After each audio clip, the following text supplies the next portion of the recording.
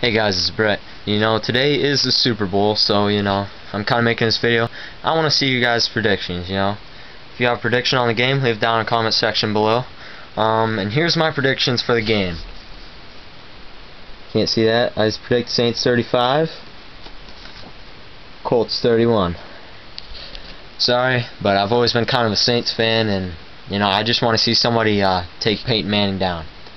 So, yeah. Peace out.